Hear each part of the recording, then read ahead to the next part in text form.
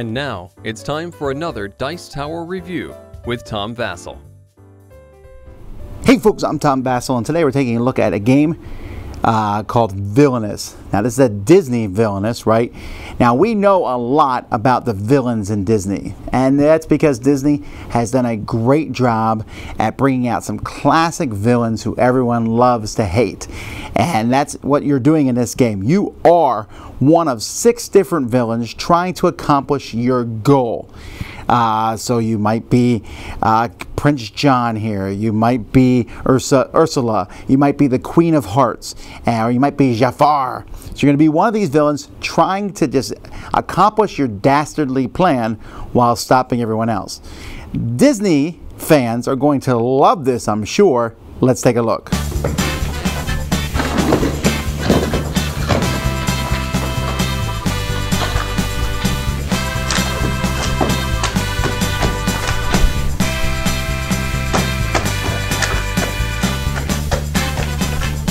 Beginning of the game, you're going to pick which villain you're going to play the Queen of Hearts, Captain Hook, Prince John, Maleficent, Jafar, or Ursula. So when you pick that character, inside it's going to tell you what you need to do to win. It will explain that.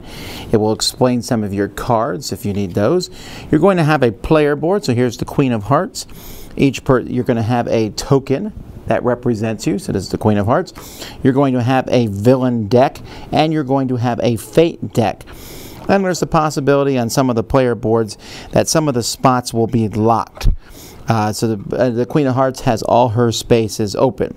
So once everyone has done that, we have a bowl full of power chips in the middle of the table.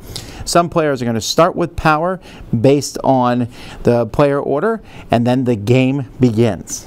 On a player's turn, they're going to take their piece and move it to a spot that, the, that they're not at currently. As long as it's not locked, they can go to that spot. When you go to a spot, you can take the actions at those spots in any order you want. So the actions are going to have various things. Some of them are going to give you power. This one, for example, gives you three power. This one here gives you two power. Some of them allow you to play a card. That's what this one does here. Now players are going to have a handful of cards and they'll be drawing cards as the game goes by. These cards themselves many times are going to cost power to play. So for example, if I want to play Take the Shot, I would need to pay 4 power. If I want to play By Order of the Queen here, I would need to pay 2 power. So you simply pay that much power to the bank and then you can play the card. Now there's all sorts of cards that are in the game. Some of the cards are going to be ally cards. When you play an ally card, for example, this card here is a card guard heart. They're an ally of yours. You would play this one here on my side of the board. So I can put him here, I put him in the hedge maze, but they can go in various spots. So by playing these allies, I'm going to be able to move them around. You also can move a hero or move a card. So for example here, this one will allow me to move one of my allies to another spot. Why am I moving allies around? Because there is this nasty action that you can do right here called Fate. Whenever you do Fate, you pick one of your opponents and you're going to draw the top two cards off the Fate deck. These cards are really annoying cards that are going to hurt them. Sometimes they're heroes. For example, here's Alice. If Alice is active, the Queen of Hearts cannot move allies or, or items. Now, Alice is going to be placed on a location. Now, what's really annoying about heroes being placed in locations is not only are they going to do something bad, in this case, I can't move my allies or items, but she also blocks two of the spots. And in fact, this game has uh, the Queen of Hearts has a unique thing. Some of the cards will make people grow, which makes them block three icons, or you can even make them shrink, which makes them only block one icon. Uh, so to get rid of an ally, you can use this token here to attack them. But to attack an ally and get rid of them, Alice here has a strength of 5. My ally here has a strength of 3. That's not enough to take out Alice. But if I have another ally with me, so perhaps I have two card guards, now they're both 6. 6 is at least equal to Alice, so I can discard these and get rid of Alice to my discard pile too. Of course, Alice isn't the only thing that will show up. There's the white rabbit and the caterpillar, and there's all sorts of cards. Sometimes there's heroes, sometimes there's uh, effects, sometimes they can move it, but each person has a deck that's specifically designed to beat up on you that other players are going to play. Now, to get to win the game, you're just going to go around doing this, taking turns, uh, moving your figure to a new spot, and taking the four actions, maybe two actions if there's a hero there. You have to do a very specific thing. So, for example, the Queen of Hearts needs to have a wicket card at each location and successfully take a shot, which means she's going to need to play card guards here.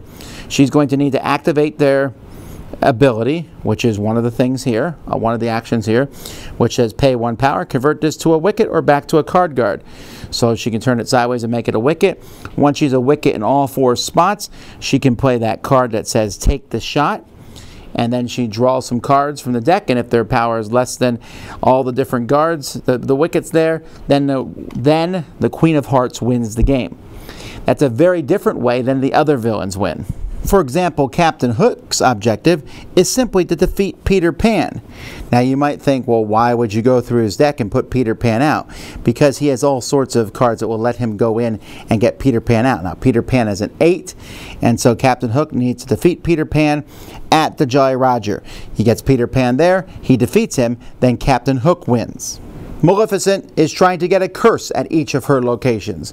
Jafar is trying to get the magic lamp at the Sultan's palace and the genie under his control. Ursula is trying to start with the trident and the crown at her lair.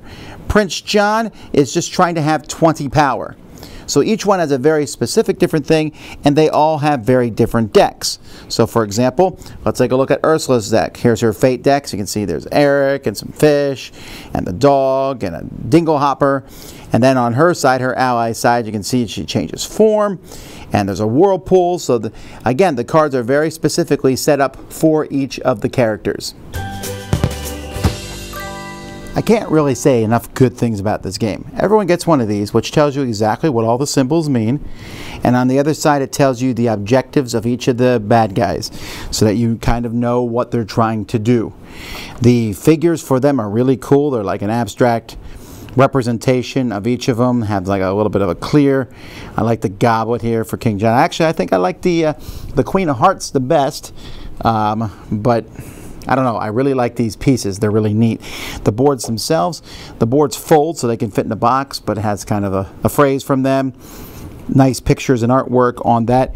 And I really like these guides. These guides are great. It tells you what to do. It explains the cards that you're looking for. Tells you some special things here. You, for people who've never played before, you give them this little guide. They can look through it. They know exactly what they're trying to do. And then just the artwork in the game.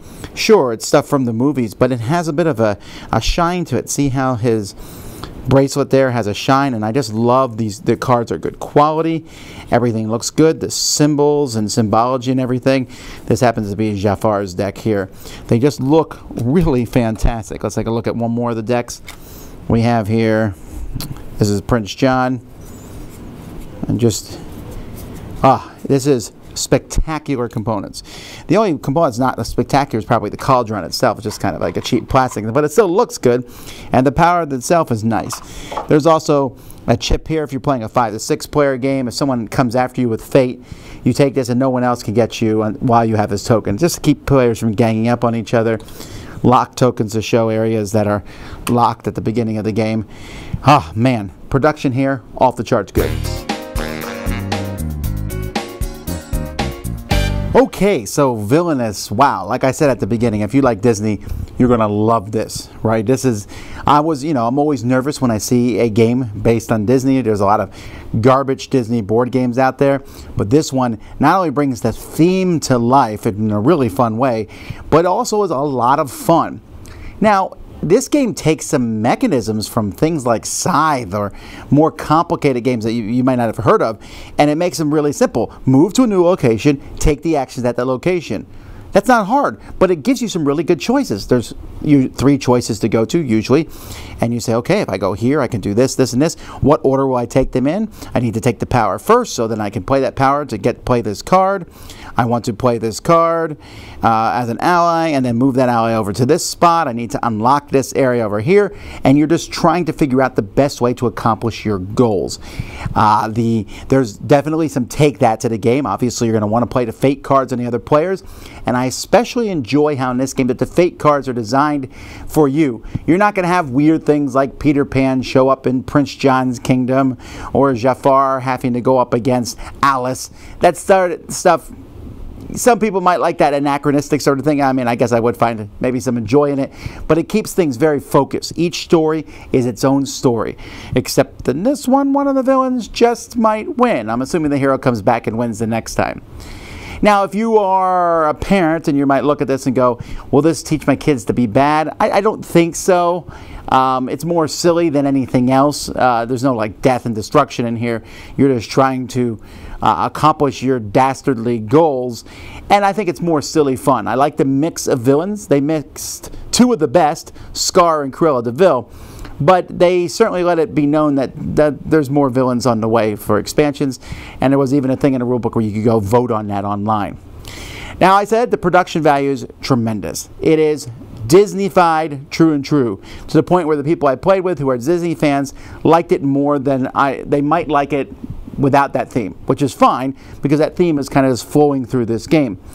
The uh, gameplay itself is easy but very asymmetrical. What I mean is, in a sense, each villain is doing something very different. When I played the Queen of Hearts, I'm trying to figure out to get my allies out there and get them in the right spots. While I've been playing Prince John, it's just all about amassing power. Some might be a little easier to play. I think Prince John is probably easier to play than, uh, let's see, Ursula, because she has to get the people to the right spots. She has to get King Neptune to show up and defeat him so that she can get that trident from him. And that's cool. It has this good storyline, and it can go up to six players. Six might be a few too many for me. I think it's probably best with four. But man, it's nice to see an excellent Disney game. Wasn't expecting this one at all, but I'm glad to have played it. Villainous. Dice Tower Judgment approved.